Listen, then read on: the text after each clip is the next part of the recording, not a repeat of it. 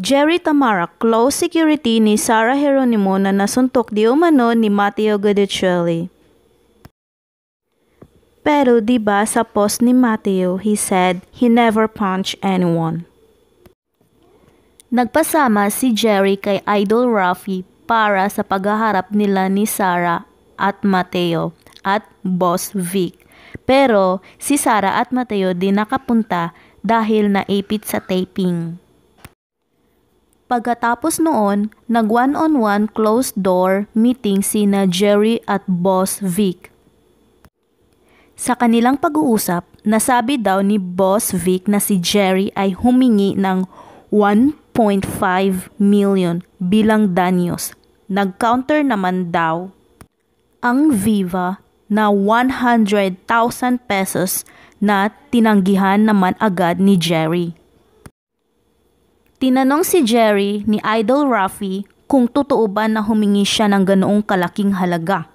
Ang sinagot ni Jerry na kailangan daw niyang magkaroon ng panibagong panimula. Humingi pa daw ng payo si Jerry kay Idol Rafi kung ano ang nararapat niyang gawin. Pinaalalahanan siya ni Idol na ang kanilang programa ay hindi nagpapagamit pagdating sa areglohan ng pera. Sa puntong iyon, sinabi ni Jerry na pag-isipan daw niya muna ang lahat ng bagay. At mas naisin na lang daw niya na wala ng perang kapalit basta't humarap lang daw sina Mateo at Sarah.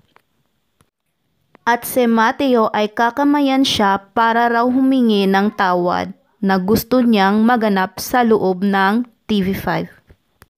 Sinabihan siya ni Idol na imposibleng mangyari na papayagan ng kanilang istasyon ang kanilang mga talent na pumunta sa TV5 para makipag-areglo sa mga nagsusumbong laban sa kanila. Dahil dito, sinabi ni Jerry na kailangan daw niya na pag-isipan muna ang lahat ng ito. Hindi natuloy ang pagkikita nila Jerry at Mateo at si Jerry ay tumanggap ng 200,000 pesos bilang pag-areglo. Pagkatapos noon, nakatanggap na sila ng text galing kay Jerry. Good morning, Sir Rafi. Una po sa lahat, gusto ko pong magpasalamat sa mga nagawang tulong niyo po sa akin. Nais ko lang pong ipabatid sa inyo na nagkaayos na po kami ng Viva kagabi. Pasensya na po talaga sir, magulo na po isip ko kagabi. Natatakot na kasi asawa ko, pati pamilya ko. Sorry po talaga. At dahil dito, itinuring na nila na ang kaso ni Jerry ay bilang isang case closed.